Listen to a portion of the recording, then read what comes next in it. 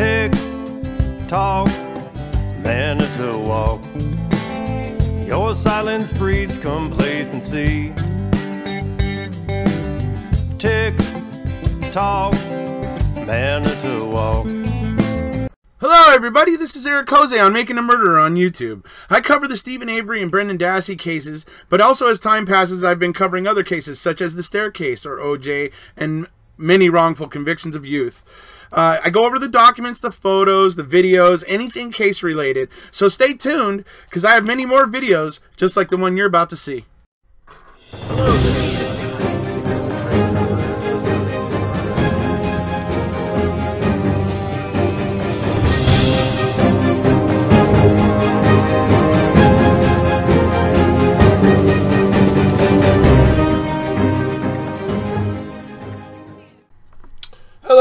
everybody. How you doing today? Today, you know, just wanted to do a little bit of a video. It's just kind of, eh, you know, nothing really truly groundbreaking, but wanted to kind of go over a few things that were occurring to me as I've been going through the motion for post-conviction relief here for you guys, and when we're preparing these videos. Um, you know, we go over the, you know, you just you go over a lot of the points that are there, and it just reminds you of things anyway. So it got me thinking about these this map, those that you know you've seen me show it before that map of that shows like the dogs and all the where the dogs were going and all that, and and some of the things that Kratz said that you know that she points out that Zellner points out in her motion that are just so ridiculous. Uh, so I did this little video today to kind of talk about some of them, to talk about you know some you know also some of the points in the MPCR as we're calling it motion for post conviction relief just so those people you know hopefully as many people as possible understand we're going to be referring to it as MPCR uh, a lot eventually but you know so everybody understands what that means. MPCR means motion for post conviction relief. We're going to be talking about that a lot and you know, as we're moving forward here, I just figured that talking about a few of these things today would would give you guys an, a better understanding of some of the things that are going to get talked about in the upload we're doing tomorrow, uh, and possibly inform your questions for the live that we're going to be doing following that. So, you know, it's I think it's always important to kind of understand the the ways that you can get into the Avery salvage yard, to understand the way these dogs were going. Uh, for me, it's interesting how uninterested they were in the salvage yard itself, how they seem to be completely interested in the quarries. Uh, the fact that there's the quarry pile with the hip bone that was still connected with like another bone, um, because there is an account from the defense's expert Fairgrieve that generally you find bones like that at the original burn site. Uh, but we didn't find any bones like that at Stevens, right? It's just all these very strange and odd things that about this case that that kind of the facts don't go along with what the state says. Um, but she doesn't just stop with with with refuting what the state said at trial. She also goes into refuting many things that the defense attorney said. Um, that's why she's bringing claims of ineffective assistance of counsel, which is going to be the sec. It's going to be the the the videos following our videos about the, the, the, the cases for the state and for the defense. The videos following that are going to deal with the her claims of the ineffective assistance of counsel of Dean and Jerry. So these are this is where everything's headed. This is all the things that are in her motion, and we're going to go over these things kind of uh, line by line in a way. But we're going to be we're going to be picking out the bits that are important so that we can kind of hit them quickly, so that you guys don't have to have that, like I said, that whole eyes rolling into the back of your head kind of feeling with all the legal and everything that gets thrown at you. So we try to make them quick and, and palatable and and, and, and, and, and with the help of Julie, easy to understand. Uh, Julie's doing fantastic work helping us create these slideshows for this.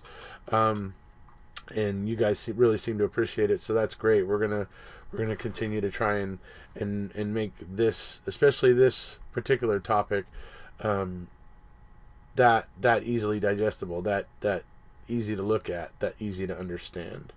That's what we're headed for. So I, I hope I hope that our efforts are um, appreciated. I, I've been seeing a lot on Twitter and a lot on every you know the platforms that people really do appreciate it. A lot of um, really really nice comments coming in regarding um, the the videos with the powerpoints and everything that, that people feel like it's so easy to understand. So that's great. I'm I'm very happy about that and hope it hope it i just hope we can continue that and hopefully educate everybody about this uh, you know, upcoming motion from Zellner with the appeals court and what it's going to be about. And it's going to be about this motion that we're telling you about now.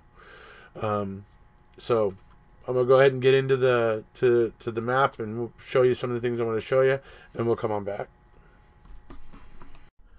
All right, hello everybody. We're here today talking a little bit about this, you know, the layout and and and some of the things claimed by the state that well are interesting. Uh, doing this video in, a, in some ways because of what I've been going through in Zellner's motion for the MPCR videos, as some of you who've been you know watching those, uh, you know what those are, and some of the claims that the state makes. So I just thought I'd put together a little video looking at all this once again. Now, for those of you don't know, these yellow lines that you're all looking at all over the place, right? You know, all over here and everywhere, right? All these yellow lines. These are the tracks the dogs took. Okay, that's an interesting thing, and pointing this out at the beginning of the video because obvious, it's just interesting to me. The dogs get dropped here, and they seem to be just constantly going off of the property. Um, you know, they get dropped here or, or there, and then they come up here, they come across, they come, there seems to be a little T, there's something apparently of interest maybe here, um, but this is all on this road, right? And look at the path the dogs took. This is an interesting thing, right? Because we got the RAV4 right over here, right? So these, these dogs were taking a path of coming in here, and then they were coming this way over to where the RAV4 is. And like I said, they're not having any interest in the Avery salvage yard, even though there was plates uh, found and in cars and, and all whatever here, right? But they're not. They don't seem to have much interest in this here they were coming in and basically getting to the RAV4, following the path that the RAV4 probably took to get in here. That's, I mean, and then there's one line that comes this way and goes over towards Avery's, but then comes over the berm here. I'm thinking this might be that path that Josh Radandt talks about that he was able to, that road he was able to take to come up right behind Avery's because this is where Avery's trailer is right here on this corner. Um, yeah, so I mean, this is what I think might be. So I think that's might be why this dog went on this track because there was a road there, and they they you know, if these bones you know remember there was bones pelvic bones here, some bones down here. Now the pelvic bones were connected right here, right? If they got moved from these areas over here, to Avery's, this might have been the road taken by somebody to get in here because the cops that were surveilling it were over on this side of Avery's trailer. And if somebody came up this way, they wouldn't have seen them. And it would have been easy to dump things in Stevens fire pit. So that's one of the reasons why the the road that Josh Radandt talks about taking that would bring him right up behind Avery's trailer, you, you know, regardless of the berm at the time. Now, now at this time, I know because when I was there recently in Manitowoc and I was at the salvage yard and I was talking to Chuck, Chuck explained how he has now taken a bulldozer and he's built the berm up even higher than it was before, and there is now no entrances uh, from the back way at all. The berm is now so high that it's there's just there's no way to come in in, in any way through the back areas now. So, uh, but at the time there was you can see this road comes right through here. You know you can obviously see and we know that from MAM2 there was there was a uh, like a brown looking pinto that blocked the way. And you could it, but and that you could get through there but there was a brown like pinto and that would block you. Uh, you know and then we had that brown mark on the broken blinker light on the RAV4 interesting. But so, I mean, like I said, it's interesting. The dogs are really not very interested in Avery Avery salvage at all, but very, very interested in what's going on over in the quarry area. So, the other thing I want to bring up is number one, yeah, obviously Kratz says there was no way to bring the RAV4. That's another thing that you're going to see that Zellner is putting in because she can easily prove it's not true. Uh, another thing that Kratz says, he says it in in his uh, um, when he's making his case for the state that the RAV4 couldn't be seen on the uh, November 4th flyover because it was covered with branches and a hood. Right? Well, guess what? Guess how ridiculous that is. I mean, these are the things that the state says. That's ridiculous to say. If you if, okay, guess what? If you can't see the RAV4 because there's a hood and branches, then you would see a hood and branches. I mean, it's stupid. It's stupid logic. It doesn't make any sense. So, yeah, to suggest that that the RAV4 doesn't appear in the November 4th flyover because there was a hood and some branches on it is absolutely stupid. Uh, you know, absolutely stupid.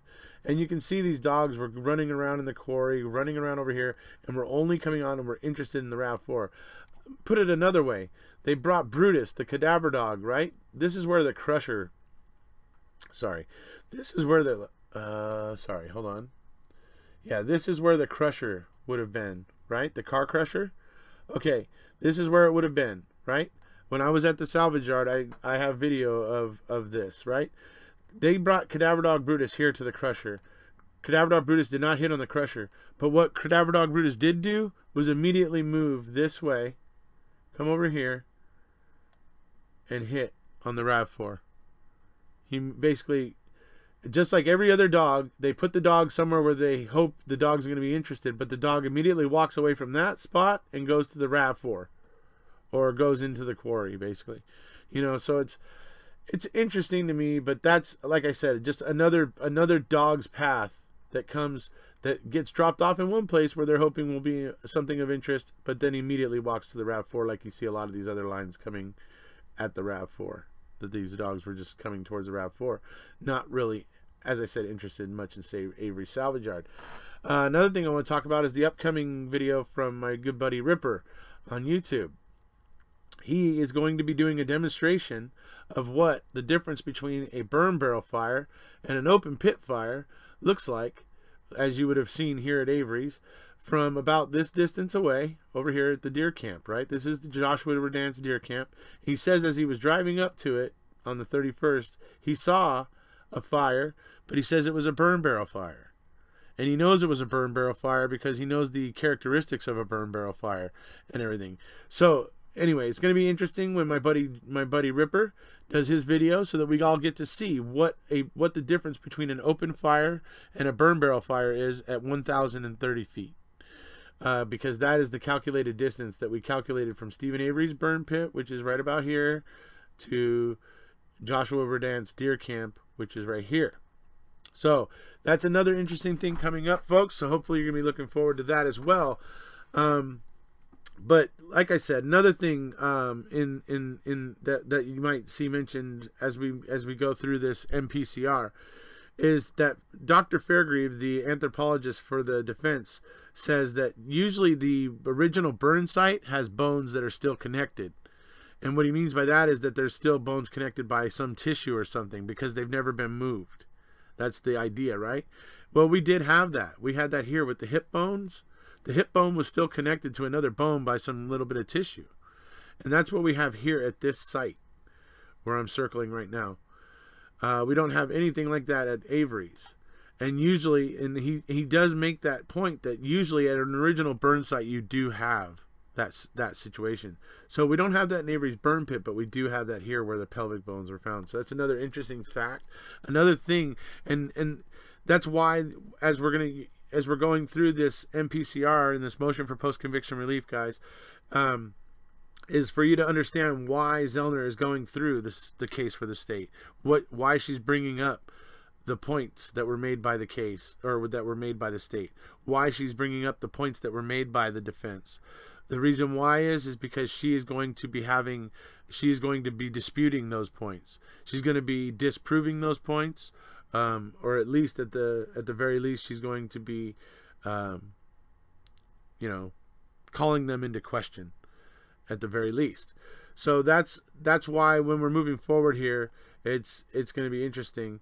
Uh, but it's like you know, it's just like I said. There's so many interesting things about what's going on here. But we also have like Joshua Radandt said, he feels like when he was trying to tell the the officers, the DOJ officers that were asking him about the fire when he said he was driving, as I said, down this road. He was driving down this road when he said he was driving to his deer camp and he could see off in the distance there Avery's fire, or he saw a fire from a burn barrel. Now, the DOJ officers kept trying to tell him, or trying to, he felt like he would, they were trying to, they kept asking him about the fire over and over again, and was he sure about it, and all these things, and they wanted to make sure he wasn't lying or whatever, and and and like all these weird things, and he finally he finally shuts them down, saying like, you know, look, yeah, that's the way I remembered it. Is the way I told you, and you know, he eventually shuts them down and they they they leave him alone. But he totally felt like they were pressuring him to say the fire was bigger than and and that all you know he felt this pressure to do this and then you so that's why his account of him saying that he really because he knows what burn barrel fires look like saying that he thinks he saw a burn barrel fire from here is is going to be interesting so it's going to be interesting to see what my buddy ripper comes up with so that we can see what the difference between those two types of fires will look like from the type of distance where josh Radandt uh, was was was supposedly to be or was basically approaching his deer camp and would have been observing the fire at Steven Avery's. So, um, everybody remember, you know, I mean, this is just a few points I wanted to cover, but everybody remember when when we're going through the premiere um, about the case for the state and the case for the defense to remember your slide numbers of, of, of what we're talking about, maybe even the paragraph number of what of, of what your question refers to, because we leave the paragraph numbers in there as well. Um, write down the slide number and the maybe the paragraph number uh, for what your question pertains to, so that you have your questions ready for the live, so that when we go live, everybody's ready with questions and and and we can start answering people's questions about some of the more legal aspects of things. Hopefully, with with Travis there. Um, you know that's one of the nice things from this channel. We got you know Travis here to help us all with the legal stuff. Uh, we have now had Julie Johnson come on recently, and she's she's absolutely doing stellar work on helping us create the slides for these for these MP these mo these um, videos about the motion for the MPCR, the motion for post conviction relief. She's doing great job. She's making it you know very very you know you know stunning to look at you know the slides and and makes all the information a lot more easily conveyable. And so she's doing a great job. So big hand for her. Just remember folks to to remember how to remember to remember your slide number. Remember what your you know what your question's referring to. So so that when you're asking us in the live that that we can more easily figure out what your question's about. So just remember the slide number paragraph number whatever and then save your question for the live event which should come after to, basically it should be about an hour hour and a half after the uh, premiere uh, in which Travis and I will go through the state, the case for the state and the defense. So, anyways, just wanted to point out some of these interesting things. Uh, I really find that very interesting. Ken Kratz trying to say that the reason you can't see the the, the Rav Four in the November Fourth flyover is because it's covered with a hood and branches and stuff. Well, guess what? You'd see the hood and branches. I mean, I don't know, just so many things that the state says are just so beyond ridiculous um, trying to claim that you couldn't bring a car through here. It's just all these things, folks. All these things. So that's why I was here today. Just wanted to bring a few of these things up because I think it's going to help you guys understand a little bit of some of the some of the things that we're talking about tomorrow uh, when we're up when we upload the premiere for the like I said the case for the state and the case for the defense.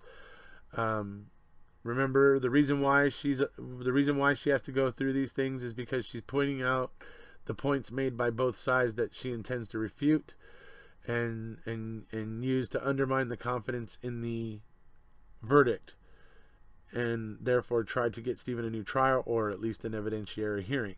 So that's where it's at.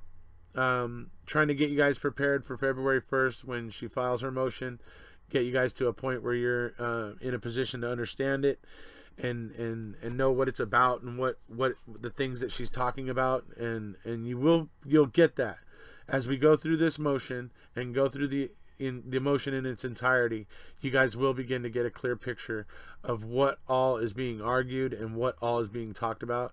And therefore, when you read her motion on February 1st, you will not be completely lost.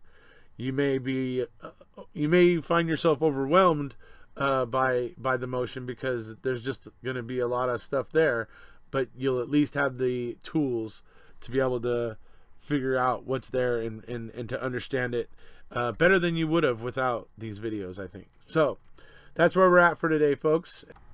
All right, so just wanted to share some of those thoughts with you guys. Oh, um, everybody remember Ripper Ripper on YouTube. He's going to be coming up with a very interesting video pretty soon. Uh, as soon as I get a solid date from him on that, uh, I will be letting you all know. But I'm very eager to see the difference between uh, these two fires from the distance of 1,030 feet. Uh, I think it's very, I think it's going to be very interesting. I can't wait to see it. So I keep talking about it. I hope you guys are all excited about it. I really, really want to see what these two, the difference between these two fires is going to look like. So, um, keep at it, Johnny, or keep at it, Ripper. Let's let's see that video. I know we're some, many of us are eager to see it. So hope you guys, I hope you're setting it up now. Uh, you know, because man, we're ready to see. uh, Ripper has a lot, a lot of property. He has the ability to do this um, because his property is so large. He can actually go a thousand feet away from it and and you know set up a camera, and then you know and and then do this. So. Um, it's diff- you know not always easy to be able to do that. So anyways so it's going to be interesting to see his video. Uh, obviously you got the upcoming mpcr videos the motion for post-conviction relief videos coming with me and travis. Um, the ones that may get into the dna stuff we may have uh, scooby on board with us so uh, look forward to those coming forward. Obviously, with this, this these brilliant slideshows that are being created by Julie Johnson. Big hand for Julie Johnson because she's doing a great job. And um, that's about it for today. If you haven't already, please hit subscribe, and we'll see you.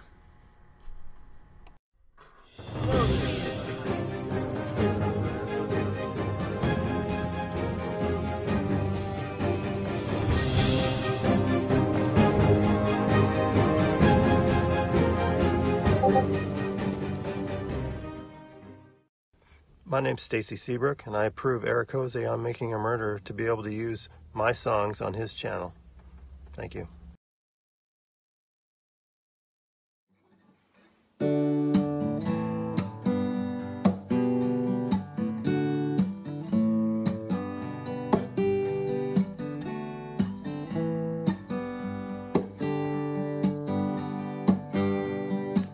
So let's keep talking about Avery.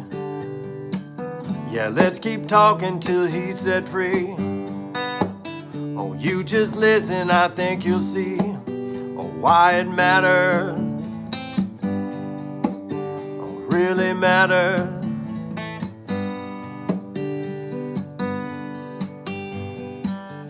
Put aside the documentary, the state's version ludicrosy. All their claims so blatantly get torn to tatters. I think that matters.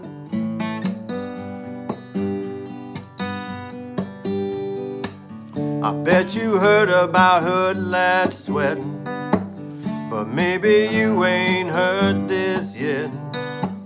Nineteen more times the DNA that was left anywhere else that day. I think that matters. I really do, I think it matters.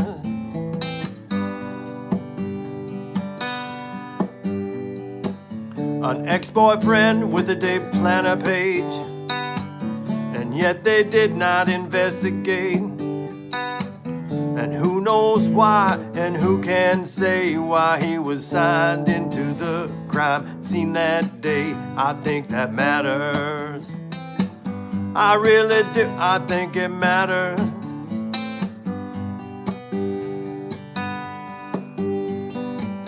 About the barrel that once was seized, but then returned to the Averys. The bones were found the next day, but not one photograph exists of where they lay. I think that matters. I really do, I think it matters. I could go on listing things off, 80 more things.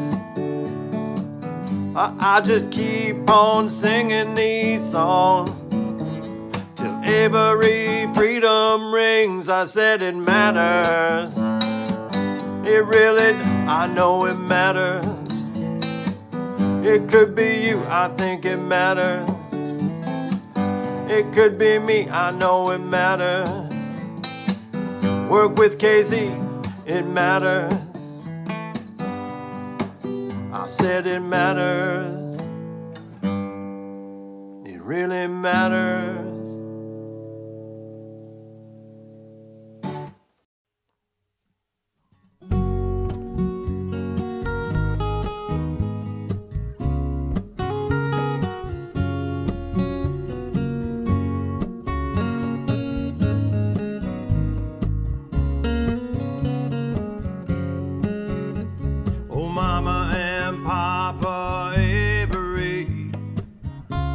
This one's for you. Just letting you know the world can't see what they have put you through. Not that we could ever fathom or try to imagine the depth of your pain. But the case was a sham, the trial was a scam. The DA